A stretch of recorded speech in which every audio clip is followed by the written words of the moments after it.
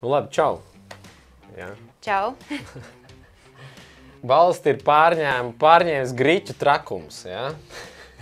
Es domāju, ne tikai valsts izstāsta, ka arī citās valstīs man paziņas un draugi līdzīgi uzvedās, vai redz citus, vēro citus uzvedoties. Nu, droši vien šajā visās uh, trakumā, ja ir nedaudz laika, jums maz druskuļi paklausīties, ko mēs stāstām. Un man ir aizdoma, ka jums varētu būt laiks, jo uh, runā, ka nevienam nedrīkstot iet ārā no mājas. Tāpēc mēs sēžam arī un kaut ko filmējam un mēģinām jums kaut ko aiznest. ko darām. Jā. Uh, nu, gribējām droši vien pateikt pāris lietas. Uh, pirmā lieta ir tā, ka uh, nu, varbūt uh, palīdzēsim nomierināt kopējo prātu. Sāksim ar to, ka uh, mēģināsim mm, palīdzēt saprast, ka panikai nav vispār nekāda pamata. Jo panika ir tā, kas uh, tikai vairo paniku. Tas tā kā, nu, Uh, nu, pat cik mēs runāsim šodien dziesmu kontekstā, un ja jūs maz druskuļi pacietīsieties, pacietīsieties Anī noteikti parādīs pāris brīnišķīgus piemērus. Ja? Uh, pa dziedātājiem un viņu izpildīšanu vispār, tad tas kā, nu, man gribētu salīdzināt ar dziesmām. Ja, piemēram, jūs uh, dzirdat savā prātā dziesmu kaut kādu, uz viņu fokusējaties un, un, un viņu izdomājat, ka jūs gribat viņu dziedāt. Un tad jūs par viņu domājat visu laiku, un viņu domājat, kā jūs viņu dziedāsiet, un beigās jūs viņu tik ļoti domājat un tik ilgi par viņu, viņu turiet savā prātā, ka beigās jūs paņemiet viņu un nodziediet. Nu, tā tas strādā. Jā. Tas tā kā ir jebkura lieta, tas kā, ko es tev stāstīju, kad, ja gribās uzcelt māju, māja jāceļ tagad, tajā brīdī, kad tu viņu esi izdomājis. Jo kā tu viņu viņa prātais uzcēlis. Jā, kā tu viņus prātā esi uzcēlis, tu uzreiz viņu cēli, jo viņi uzreiz ir gatavi. Tā kā Viņa nevar uzcelt, kamēr tu neesi viņa prātā uzcēlis. Tas ir cits. precīzi. Ja? Tā kā ar visām šīm lietām ir ļoti līdzīgi. Facebook ir šausmīgi brīnišķīga vietne, ja to izmanto. Caur mīlestības prizmu un uh, komunicējot, un nododot kādus mīlestības uh, foršus sveicienus, vai ieliekot kādam sirsniņu, ko arī varat izdarīt šeit, vai nošērot, vai tam līdzīgi. Tas viss ir superīgi, taču tajā pašā laikā ir jābūt dikti modram, jo uh, tā tā deksme aizrauties citreiz ar kaut kādu neprātīgu domu ir tik liela, ka eh, tas informācijas gūzmu viņi pārņem mūs un, un parasti tas trakās domas ir tik aizraujošas, vai ne? Un tad uh, mēs viņus šērojam, šērojam, šērojam un sataisam pašu to paniku prātā. Un tad ir tā kā es teicu, to dziesmu, vai kā mēs runājam par māju, vai kā, ka tā, tā panika mūsu prātā ir tik liela, ka viņi reāli sāk materializēties mūsu dzīvē, un viss mūsu dzīve sāk šūpoties un paliek bažu pilna un rūpi pilna.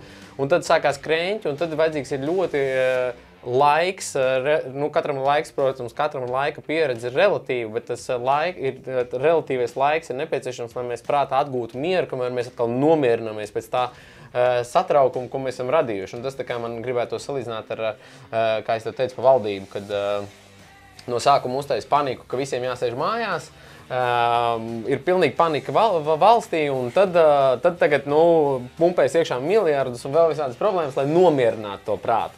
Līdz ar to varbūt uh, tas gudrāka doma ir netaisīt paniku pirms tam. Un uh, mierīgi iet. Nu, protams, tas nenozīmē, ka mēs aicinām būt neprātīgiem un, un, un rīkoties uh, neprātīgi. Kā piemēram, es nezinu, ja mazs bērns spēlējās ar nāzi, nevajag viņam ļaut spēlēties ar nāzi, jo domā, tā, tur nekas nenotiks. Vajag to nāzi paņemt nost. Un tā vadās arī tagad, nu, ja kādam šķiet, ka vajag ievērot kaut kādus preventīvus pasākumus vai, vai nu, kaut kā uzlabot savu imūnsistēmu, apēdot kādas dzērvenes, tad droši izdariet to veidu, pastaigāties vai tam līdzīgi. Taču mēģinam, mēģinam pat to rītīgi daudz necepties un neuzturēt to domu prātā, jo tad būs tā kā ar dziesmu. Būs, varēsiet nevis dziedāt dziesmu, bet būs jādomā par to, un tad viss tā realitāte, viss tā diena no rīta līdz vakaram pārstāv faktiski tikai ar domu, Ak, Dievs, ak, Dievs, ak, Dievs, kronāliņš vai, vai, vai alkohola lietošana kaidīgai slīdē.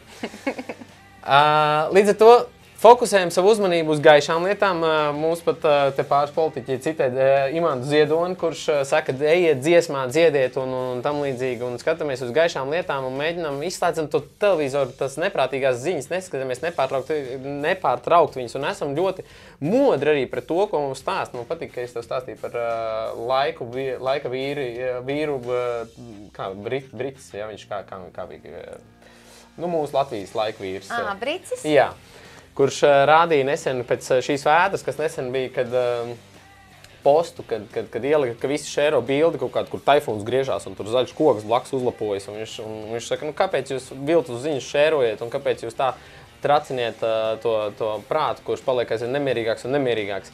Un, un turpat viens oficiāls, viņš teica, ka oficiāli rādīja oficiāls portāls bija paņēmis un to bildi nopublicējis kā, kā faktu. Kā ziņu. To, kā ziņu, jā. Līdz ar to esam ļoti mudri. Uh, esam saprātīgi. Neļaujamies provokācijām. Neļaujamies provokācijām. Esam modri, mierīgi, nesatraucamies. Um, nu, mīlestību nevar apdraudēt nekas. Tas ir tā kā, nu, tā kā fakts. Vienīgais mīlestība var, nu, mīlestība ne, ne, nevar apdraudēt. Viņa nevar apdraudēt, tāpēc uh, nu, turamies mīlestībā, turamies dziesmā. Jā. Un, un, un, un, un, un, un, un kaut kā tā ejam pa dzīvi.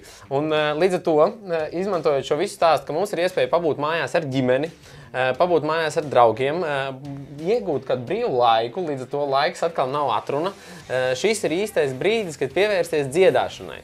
Un uh, par dziedāšanu droši vien, ka es tuņās došu tev vārdu, bet uh, pirms tam es vēl pateikšu, ka uh, es zinu, kā tas ir. Kad ir uh, kauns dziedāt. Es zinu, kā tas ir, ka ir nērti dziedāt. Es kādreiz dziedāju korī, un, un, un, un diriģentis šo stāstījis jau privātā kompānijā mazākā. Kad, Uh, šis stāsts ir man, manis atcer, es atcerējos pats šo uh, savā pieredzē no vienas citas dāmas, kas uh, dalījās ar savu līdzīgu pieredzi. Kad uh, es stāvu korī un diriģents saka, kas tur dzied šķībi. Un, un, Un tad tā visa tā kora stūr, stūrī, kur stāv vairāk cilvēku, visi tā nedaudz apjukuši, jo īsti nu, visiem paliek tā. Mm, Jā, vai dzimšanas balīties ir jādzied, un tad, vai himni jādzied, un tad gribās dziedāt, vai negribās dziedāt, un nevar saprast, vai tiks vērtāts vai nē, un tam līdzīgi. Un tāpēc tiem, kas nezina, un varbūt daudz jau ir noteikti zina, pa mums ir dzirdējuši, bet mums ir brīnišķīga iespēja izveidot, mēs veicam apmācības online. Mums ir pasaules labākais eksperts, kurš ir absolūts guru balss uzbūvē, muskuļu uzbūvē, kā to pārvaldīt un kā to iemācīties. Un iemācīties maziem solīšiem, nevis tā, ka lai jums būtu jāiet pie kāda vokālā pedagoga.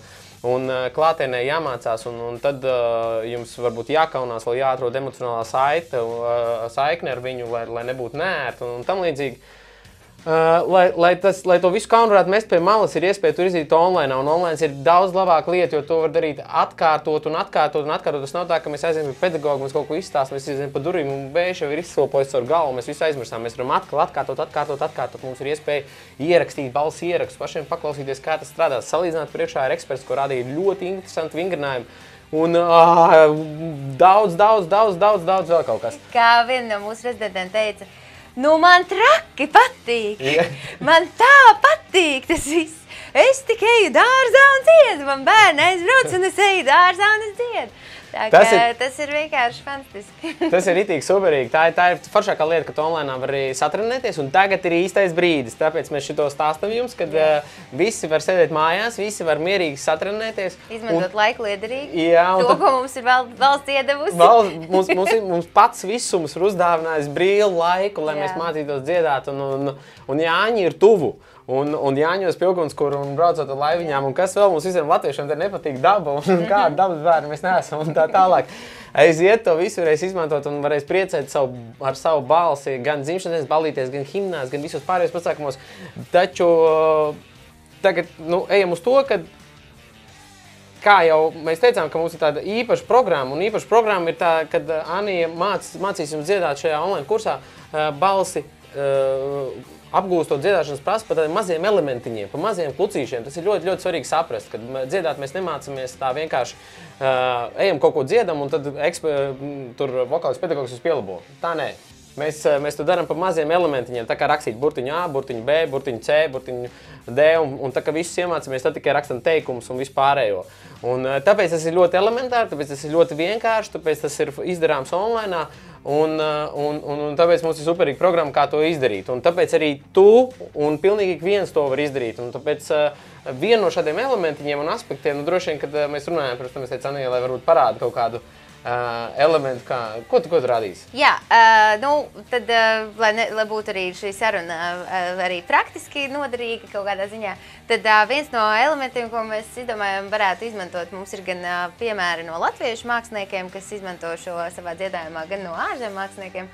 Un, uh, un, jā, un šis, šis mazais, tas īstenībā ir tā kā klasificējas vokālajā pedagoģijā zem, zem termina vokālais efekts. Un uh, vokālais efekts ir tātad, uh, tāds, uh, ja mēs iedomājamies, ka ka dziedāšana mūsu balss un tas dziedājums ir tā, ir, ir tā kūka, jā, un viņai ir tur sastāvdaļas lielās un viss, un tā, tad efekti ir tie kaut tie garnējumi vai tādas mazas lietiņas vai tie kaut kādi, kas ir tie, kur, ko uzber virsū tās skaidiņas kaut kādas vai kaut kas tāds. Arī kūkas sastāvdaļa var būt, nu, Uh, nu, tas jau viss saliekās. un Tad, Tas Ā, viss saliekās, bet es par efektu Jā. runāju. Kad Jā, jā, jā. efekts, eh, sal- ja mēs salīdzinām dziedājumu ar kūku, tad efekts ir tādas kaut kādās vietās, eh, ķirsītes vai kaut kas, vai skaidiņas, vai kā- kas tur. Tā kā man vai- bērnībā stāstīja, ka man dāvināja tās kūkas, kur vienmēr virsū bija vīnogas. Tad vīn, nu, vīnoga, piemēram, viena no vīnogām. Un tad, ja, piemēram, mums ir garnējums, kur mums ir daudz, daudz vienādas lietiņas virsū, tas nu, tad arī izpaužās, ka viens tas efekts vairākas reizes tiek tajā dziesmā izmantots. Līdz ar to efekts ir kaut kas ļoti īslaicīgs, bet viņš ir tik, tāpēc ir viņš ļoti efektīvs. Viņš ir tik efektīvs, ka viņš iedod nu, uzreiz, tā kā bieži vien pat vienu, re, viens, viens efekts pielietojums visas dziesmas garumā iedod to krāsu dziesmai, kas, kas, kā lai saka, kas vajadzīgs, tas palīdz to emociju izteikt bieži vien. ā, Un tad tieši šis efekts, kur mēs šodien domājam apskatīt, viņam, nu, Latvijasiski viņš nav vēl uh, definēts, bet es, es, at, es atceros uh, no latviskās definīcijas meklējumiem. Uh, speciāli gan jau kaut kādā brīdī viņi ir, viņš radīsies angliski, viņam definīcija ir cry voice. Nu, un tā kā ja tieši iztulkot, tad ne, negluži raudamā balss, bet nu, raudošā balss. raudošā balss. Un, uh, un tas ir diezgan loģisks kā, tas apraksts, tāpēc ka tā ir skaņa, kas izveidojas bieži vien tad, ja mēs raudam. to bieži vien tādā veidā var tā kā, uztaisīt. Līdz ar to tā asociācija it kā ir ar to, bet ja mēs viņu pārvēršam vēl vairāk par efektu un, un liekam dziedājumā, tad viņš bieži vien paliek vēl asāks un viņš uh, izklausās jau ha, ha. Mēs tā kā liekam viņu pirms nots, uh, bieži vien, uh, nu, tas ir vienmēr pirms mēs sākam dziedāt, tas ir kaut kas, kā mēs uzsākam uh, šo noti. Un, protams, ka viņu var likt vis kaut kādos, visvieglāk viņu ir uz patskaņu iz, iz, izlietot, bet viņu var likt arī pa vidu vēl nu, dziedātāji daudz un plaši un visādi izpaužās un izmanto arī uz līdzskaņiem un tā tālāk. Tā tālāk. Nu, lūk, un tad šis efekts, viņš ir, kā jau mēs teicām, jā, viņi ir ļoti forši tas garnējums, bet, protams, ka, ja mēs iedomājamies kūku, kur viņa viss ir noklāta ar tūkstošiem vīnogu, tā kūka varbūt vairs neliksies tik, kā tik pievilcīga. Vai, vai nu, te jebko, arī, ja tā ir, ja mēs iedomājamies šokolādes skaidiņas, tad, ja viņi ir vienkārši kalns ar šokolādes skaidiņiem uz kūkas, tad varbūt, nu, tas nebūs pat labākais. Ir vienmēr jāatrod un jā, jāsajūt tas, tas labais daudzums, cik daudz viņu izmantot Kā un cik bieži. La Latvijas mīļš, laikam, teicies, ir ja, kas pat daudz, tas pa skādi. Jā. nu, uh, vesels prāts, mīlestība un prieks un laime nekad nav par daudz. Bet, uh, kas attiecās Jā. uz mūziku, droši vien varbūt kaut kādās brīžos jā. Jā, vienkārši, lai tas dziedājums nav, ā, neizklausās arī vienveidīgs, ka, ja mēs uzsēžamies uz šī viena, piemēram, efekta un vienkārši viņu visu laiku izmantojam, tad ā, tas arī nu, kla au- klausītāja ausī varbūt, ā, kā lai saka, par daudz, un, ā, un tā, lai tas būtu baudām. Nu, lūk, tā, ka tas ir vienīgais, no kā ir jāuzmanās attiecībā uz efektiem, bet jā, šis, šis kraivojas efekts, ā, nu, mums ir ā, vairāki piemēri, Varam, sāksim droši vien ar pašmāju ā, māksliniekiem, ā, viens no tiem ir, ā, pagaid, kā mēs darīsim? Nu, paņem datoru, ieslēdz. Es tikmēr, tikmēr izklaidēšu cilvēkus. Ā, Kamēr Anī meklē, tad vēlreiz es iestrādāšu, atceramies, ka vienmēr skatāmies dzīvi pozitīvi.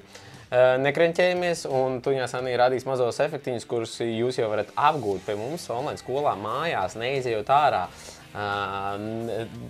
Pasargājot sevi no, no, no vidas, kurā varbūt jums kaut kādā brīdī šķiet, ka ir bīstami iet šobrīd. Kaut gan bīstamība ir tikai mūsu prātā, bet to atlaižot, šos visus būs iespēja iemācīties mums online kursā. Kur, kurš mēnesis tas ir? Šis viss notiek jau 4.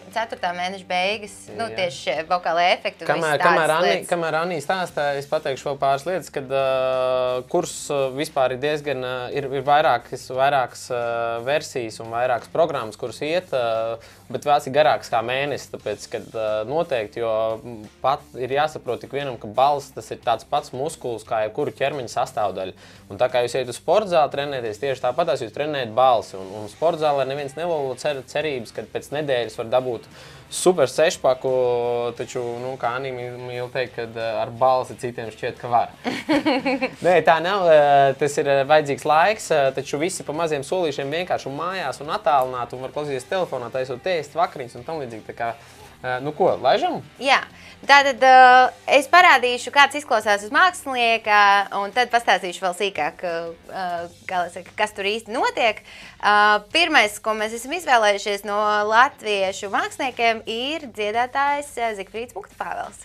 Un, uh, es personīgi esmu pamanījis, ka ik pa laikam uh, kaut kādās dziesmās, kas ir īpaši ir tādas varbūt emocionālākas vai nu, citreiz uz balādēm ejošas, bet šī varbūt nav balāde, bet arī tā emocija nāk cauri mazliet.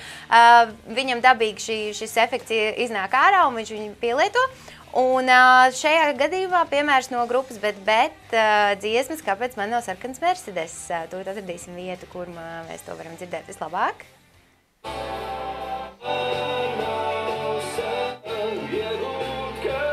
jau bija.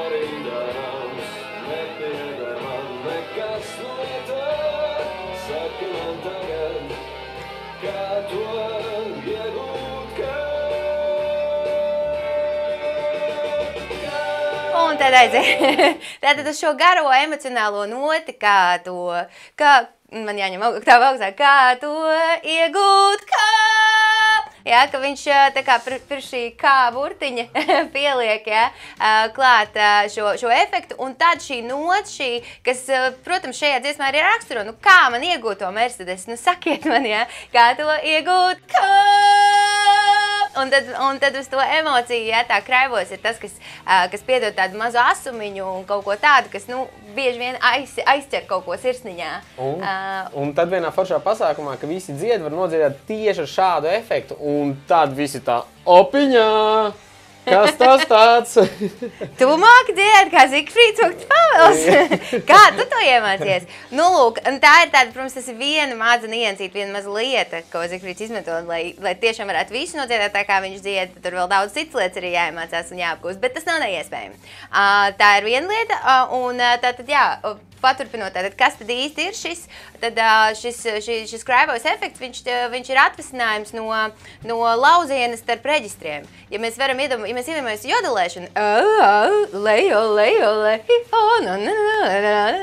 lejo, lejo, tad tā ir jodelēšana tīri vienkārši tehnika, kur dziedātāji ir iemācījušies ļoti ātri pārvietoties no krūšas galvas un šo lauzienu, un vēl viņā iekš viņa dziedāt, un vēl tur visādas, visādas joks izstrādāt. Un tad, ja mēs paņemam tādu to lauzienu, tad, tad ja mēs viņu saīsinam, un mēs mēģinām viņu tā kā pielikt skaņas sākumā, tad principā, ja mēs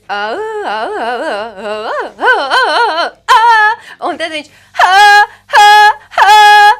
tad mums sanāk šis kraivos, ja? Tā, tas ir tāds ļoti, ļoti pātrināts un sāsināts lauziens starp krūšu un galvas reģistru, lai, kā lai saka, lai to izveidot. Bet, nu, Man vislabāk patīk tas, ka uh, to, ko saka visi mūsu rezidenti, un to, ko nu, es esmu absolūti pārliecinājies, redzot gan online, gan klātienes, to, kā tu darbojies, uh, tad tā burvīgā lieta, ka uh, tas nav viss uzreiz jāķer tā, oh, un ar visu to dziedāšanu kopā, tad, tad ir sarežģīti. Tāpēc ir svarīgi saprast, ka te visi mazi elementiņi, un, un, un Anī katrā nodarbībā ļoti sīki un detalizēti skaidri pilnīgi visiem saprotamā veidā izstāst. Mums nav neviens, kas būtu teicis, ka ir kaut kas nesaprotams.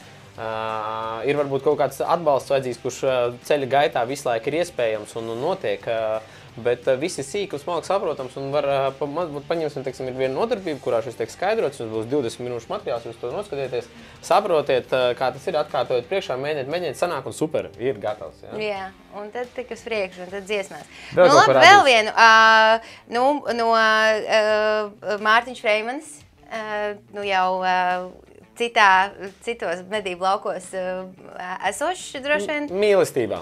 Citā mīlestības izpausmē atrod, uh, atrodas šobrīd. Uh, Mārtiņam Freimnim arī ļoti bieži patika izmantot šo efektu. Viņš pat viņu dažās dziesmās izmanto ļoti krāsaini un ļoti daudz un bieži.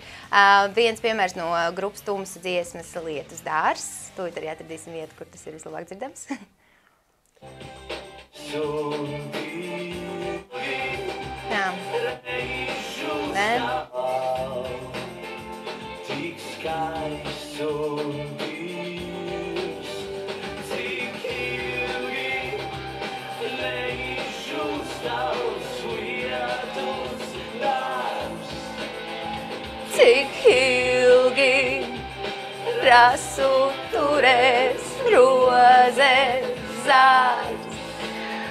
Un te var ļoti krāšņi, te viņš gan uz katru noti, jā, cik ilgi, uz ilgi arī diezgan viegli, ilgi, neizžūstās lietus dārs, jā, te var uz katru, ja gribās likt.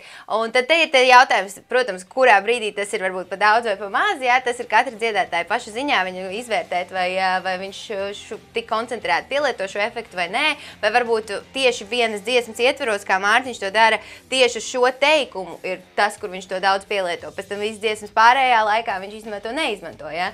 Un atkal tas ir kaut kādā brīdī emocionāla dziesma jautājums, jautājums, cik ilgi neizšu, neizžūs šis lietas dārs un tā tālāk. Tā, kad, nu, uh, jā. Mums Latvijā, es zinu, ka ir ļoti populāra arī, arī dzene tikai dziedāšanas kultūra, bet arī nu, jau kļūst aizvien populārāka un populārāka improvizatoru vispār kopiena kā tāda. Un visiem, ja gadījumā kāds ir improvizators vai kāds skatās šo, kas pazīst, ietegojiet un, un pašērojiet, jo šīs ir lietas, kuras arī improvizācijā noteikti cilvēkiem palīdz atdarināt balsis vai, vai izspēlēt kādas smieklīgākas ainas vai tam līdzīgi, tas teātros un visur pārējās lietās. Um, Bālīties varbūt kā vakara vadītāji vai vienkārši jautras kompānijas dvēseles uzreiz piedot sev odziņu klāt. Tā kā arī vi, visi, visiem, kam šāda veida radošums ir tūs, arī jūs esat laipni aicināti padziedāt kopā ar mums šitajā brīnišķīgajā laikā, ka mēs kādu laiku varam atpūsties mājās un no mājas ārā neiet. Jā, Tā. nu un tad pieminot, ka, protams, latviešu dziedātāji nav vienīgie, kas to, kas to pielieto. Pasaules rietumu, kā saka, rietumu mūzikas industrijā ļoti šis efekts ir populārs un bieži pielietojams. Tad mēs izvēlējāmies divas, tā kā mēs no latviešu dziedātājiem paņēmām divas piemērus no vīriešiem, tad paņēmām divas dāmas un viņu dziedājumu parādīsim mazliet. Un jūs jau šīs dziesmas gan jau kā arī esat dzirdējuši par radio. Pirmā dziedātāja ir LP, kas jau ir, man liekas, pat vairāk kārtīgi bijusi Latvijā uzstāties. Viņas slavenā dziesma Lost on You. Tur arī ļoti daudz un krāšņi dzirdēt viņas krājumos pielietojumu dziedājumā aiziet meklējumu.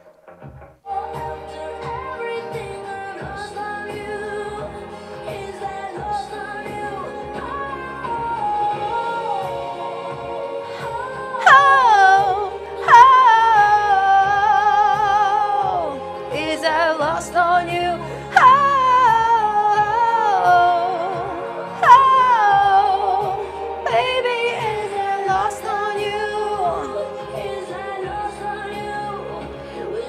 Viņa vēl dara Lost on you! Viņa vēl taisa šo lauzienu frāzes beigās, kas tā kā ir, nu, cits paveids kraivojas, bet principā tas tā, tā, no tās pašas sērijas, jā, tas pats lau, lauziens starp reģistriem, un, un jā, un viņa tā kā vēl nu, nots beigās, to vēlreiz paklausīsimies. Tad maz meistarklasīt būs sanāk.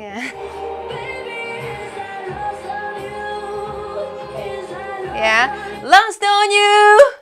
Jā, ka viņa vēl beigās. Lost on you! Un tad uztais vēl tādu mazu. un, uh, jā. ja arī tu to visu tagad iemācīsies, tu varēsi ar visām dziesmām visu pārsteigt. Un lai neviens nekad mūžā nesaka, kad uh, vai nu tu māk dziedāt vai nemāk, vai tev lācis ir uzkāpis uz vai nav, tās ir pilnīgas muļķības. Ja mēs dzirdam, ka kāds dzied šķībi, mēs varam dzirdēt, ka mēs paši trāpām vai netrāpām. Un tad tas ir tikai treniņa jautājums. Mums ir speciāls iespējas ierakstīt uh, failus, uh, kā mēs trenējamies uz speciāliem vingrinājumiem, salīdzināt, pastīties, dabūt ekspertu atgriezties uz saiti un tam līdzīgi. Līdz ar to mēs katru izvedīsim cauri un tagad, tagad, tagad šitajā mēnesī īpaši, kamēr ir um, Es jau par šo mēnesi pateikšu, man ir īpaši domprātā. Man nav skaidra, tur būs neliela improvizācija, bet uh, nu, ejam. Jā, un uh, Turpinot vēl vienu piebildīti visiem, kas mēģina varbūt šo efektu, tagad uh, ir varbūt kādreiz pamanījuši, ka viņi paši neviļus izmanto dziesmā, viņš vienkārši iznāk ārā un grib kā, viņu noķert un izvēlēties, kad tad viņu pielietot, kad nē. Tad uh, vēl viena piebilde, kas uzreiz uh, tāds ne, neliels padomiņš un, un, un uz ko skatīties, ka tā kā šis efekts tiek veidots uh, laužot, laužot starp reģistriem, viņu galvenokārt un pat galvenā vieta, kur viņš dzīvo, ir krūšu reģistrā. Jums ir jādzied krūšu reģistrā, lai jūs varētu viņu izveidot, uzsākt noti. Ja jūs gribēsiet to miksētajā vai gals reģistrā, kā lai saka, izveidot, ar laiku, tad, kad tā tehnika ir ļoti, ļoti, ļoti uztrenēta, tad var arī, nu tā bišķiņ viegli to izdarīt arī tajos reģistros, bet tāpat tās visefektīvāk viņš sanāks vienmēr tur, tāpēc, ka tas ir, kā saka, tas ir lauziens starp reģistriem un viņš bāzējas krūšu reģistrā. Tā, ka, nu. uh, Valsts reģistriem mums ir veselā, Jā. vesela nodarbību Vesels moduls. moduls, kas ir, lai, lai saliktu jums Atvēlēts. valsts reģistrus. Un, un, un es zinu, ka, nu, es, es saprotu, ka kā la, latviešu koru mūzikas pēcteču vispār nu, tā kā tauta. Galvas reģistrs un krūšu reģistrs tur ir tādi Ah, nu, diezgan īstenībā li- mēs varam pastāstīt. Jā, es labprāt Jā. īstenībā padalīšos arī ar šo. Jā. Uh, ka mums šī pēstniecība krūšu reģistra dziedāšanā ir uh, salīdzinoši maza tieši dāmām, uh, kungiem un džentlmeņiem, vīriešiem. Uh, šī uh, pēctecība ir diezgan liela, tāpēc ka vīriešiem dabīgi arī koru, uh, klasiskajā mūzikā un koru kultūrā senāk ir jā, jādzied krūšu reģistrā un jāizmanto šīs notis un šis reģistrs jāattīst. Līdz ar to parasti arī, ja, ja gan puišu meditoriju mēs varam redzēt starp aktieriem bieži vien, kas ir trenējušies pie klasiskajiem pedagogiem, pasniedzējiem, tad vīriešiem vienmēr ir vieglāk beigās izdziedāt tādas estrādes mūzikas dziesmas nekā sievietēm, tāpēc ka sievietēm klasiskais un kora uh, treniņš notiek ļoti, ļoti nopietni attīstot galvas reģistru. Un krūšu reģistrs nu, var būt tikai altiem un uz tikai zemajām notīm. Tas tiek, kā lai saka, vispār izmantots un kultivēts. Un, uh, un tas netiek attīstīts, līdz ar to dāmas ļoti skaisti attīstīja savu galvas reģistru, un tad viņas visu dzied galvā. Bet priekš populārās mūzikas ir ļoti, ļoti nopietna lieta un liela sastāvdaļa populārajā mūzikā ir krūšu reģistrs. Un augstas nots arī krūšu reģistrā. Un arī dāmām galvenokārt. Līdz ar to, ja tas nav izdarīts, tad nevar adekvāti izpildīt. Un, nu, tā kā tas ir populārajai mūzikai atbilstoši. Un nevar te man jāmin, šo- ka šīs dziesmas. atgriežoties pie pēctecības un vispārējā, kad, ko jau mēs vairāk kārtīgi visur sakām, vienmēr, kad mums Latvijā ir visu cieņu klasiskai mūzikai un koru mūzikas kultūrai, jo tā ir pēctecīgi nākusi un mums ir liela grandi bijuši Latvijā, kas ir devuši to tālāk, ir spējuši nodot un nākamās paudzes atkal paņem un nodot tālāk. Un līdz ar to šajā ķēdē, ka mēs paņemam, nododam, paņemam, nododam, paņemam, nododam, tur nav bijusi tādas vēsmas, kas ienest populāro mūziku. Uh, Anī mums ir uh, Londonā pabeigusi pasaules uh, top augstskolā uh, populārās mūzikas dziedāšanas pasākumu. Līdz ar to uh, mums ir tā kā tīrs pirmavots no, no populārās mūzikas uh, stila, žanra un pieejas. Uh, noteikti aicinām um, palūkoties, ko mēs darām sīkāk, un varbūt izmantot kādu programmu tiem, kam īstenībā populārā mūzika ir aktuāla. Un, protams, arī tiem, kam ir uh, krūšu reģistrs, ir, ir, ir gribās patronēt. Jā. Mums bija rezidenti, ir rezidenti vēl joprojām, uh, kura krūšu reģistru atvēra. Jā, pavisam, t- kā piemērs, ka tas ir iespējams, ā, tad, ā, ja neminēsim vārdā, Jā. neesam saņēmuši Jā, jā. mēs varam to publiski minēt, bet uh, ir mums piemērs no mūsu rezidents, kur klātienē pie vairākiem pedagogiem, nu, kaut kā nebija izdevies ga, ilgu gadu garumā atvērt ā, krūšu reģistru un tā kā vispār tikt tam klāt, viņa jau bija, kā saka, sevi iedefinējusi, ka, nu, viņai vienkārši viņš nav, vai viņai tas nav iespējams. Un iestājoties mūsu programmā, viņa, protams, ir ā, ar atvērtu prātu, bet, ar, protams, zinot savas iespējas un savu iepriekšējo pieredzi, nu, šaubījās, vai viņai tas izdosies. Bet caur online programmu un pāris mēnešu laikā jau viņai izdevās šo atrast sevi, atvērt, un šobrīd viņa turpina to attīstīt un tā tālāk. Tā ka tas viss ir iespējams, iespējams arī attālināti. Un, ā, Pat cik grīķi visiem mājās ir, visiem ir ko ēst, tad satraukuma nav nekāda pamata un atliek tikai trenēties un dziedāt. Nu, ko, pabeidz, varbūt pa pēdējo, Jā. lai mēs neaizstebim garumā, es pateikšu pāris lietas, kur palīdzēs, kopā izdomāsim, Jā. varbūt kādu īpašu piedāvājumu tiem, kas skatās, jo man tā noskanēja, ka varbūt mēs kaut ko varam piedāvāt jums šajā sakarībā. Pat cik mēs solidarizējamies ar visu sabiedrību un visiem Kāpēc palīdzam. Nu, aiziet no Jā, nu, un tad pēdējais piemērs, ko šodien mēs gribējām jums parādīt, arī no uh, ļoti pazīstams dziedātājs, kura drīz uh, būs Rīgā, uh, Adele. Uh, un, ja neatcelsīs koncertu, cerams, ka ne, bet tas ir kādu laiku vēl uz priekšu. Un, jā, viņa no Adele, ja gribās kraivojas, kā lai saka, kraivojas paraugstunu, tad vajag paklausīties Adeles dziesmas, ir īpaši tās salkanākās balādes, jo tur viņa, nu, visā savā krāšņumā izmanto to daudz un dažādi un vis, visdažādākos veidos, tā ka klausoties viņu mēģinot varbūt atdarināt, izdodas arī noķert šo efektu. Un tad dziesma Rolling in the Deep aiziet.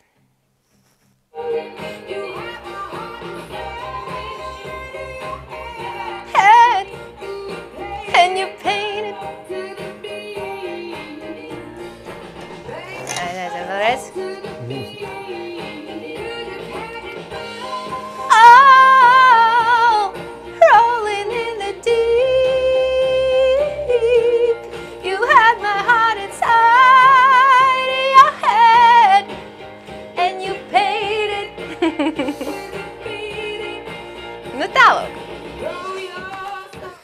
Tā, nu, tā tad. Es ceru, ka ik viens, kas šo noskatījās, es ceru, ka jums šī informācija nodara.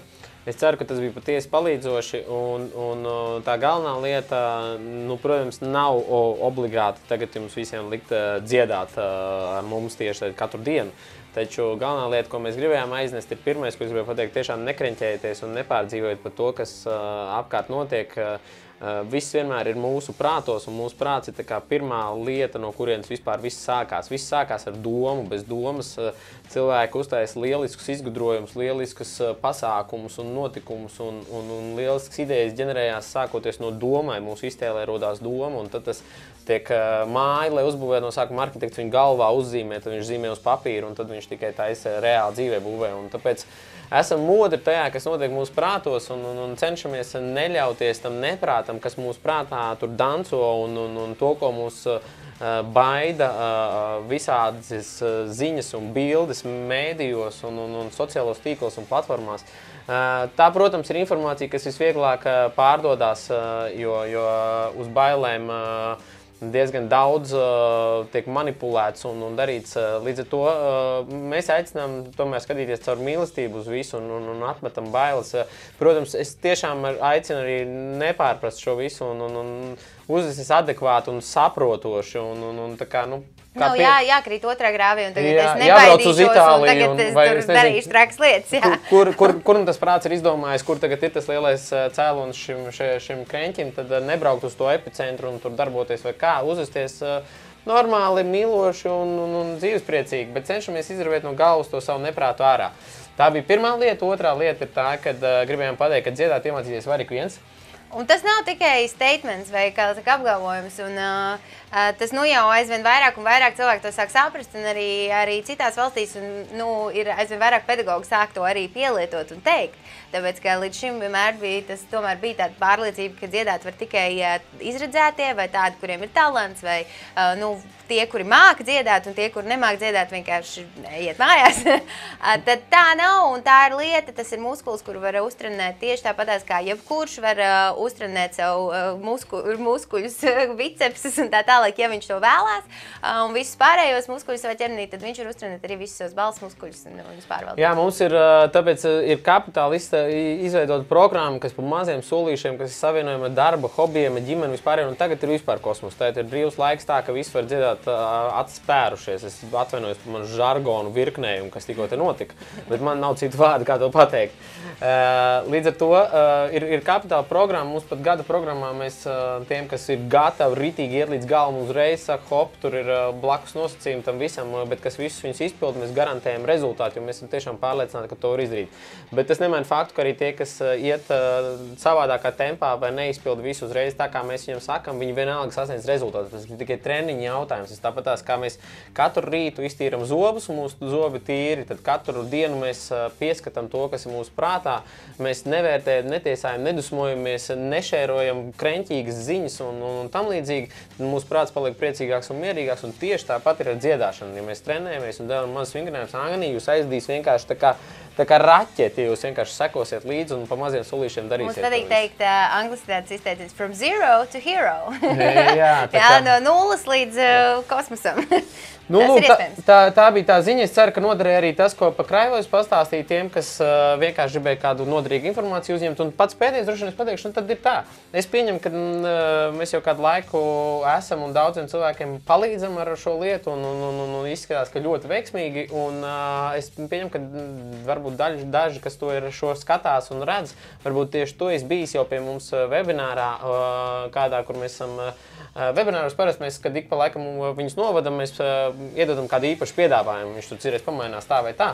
Bet uh, mēs iedodam kādu īpašu piedāvājumu. Un kas ir bijis webinārā un piedalījies? Uh, Droši uh, es nevaru pateikt, cik dienas tas būs spēkā, bet sakarā ar visu šo pasākumu uh, Eh, tuvāko dienu laikā eh, padodiet, nu, mēģiniet nevilkt garumā, jo mēs izdomāsim, mēs vēl neteiksim, cik dienas tas būs spēkā, bet uh, iedodiet mums ziņu, ja jūs mūsu datubāzē būsiet un būsiet bijuši uz webināru, mēs jums iedosim vēl projām spēkā uh, šīs uh, īpašās piedāvājumu cenas. Līdz ar to varēsiet par īpašu piedāvājumu pieteikties. Tā kā vienīgais esat bijuši webinārā un uzreiz skaidri zinat, ka gribat izmantot šo brīnišķīgo iespēju mēnesi piedalīties kādā no mūsu programmā, Uzreiz uh, rakstiet mums, ir vokal at uh, vokalmaster.lv vai mājaslapā www.vokalmaster.lv mājaslapā ir telefona numurs, uz to varat rakstīt, zvanīt, kontaktēt mums.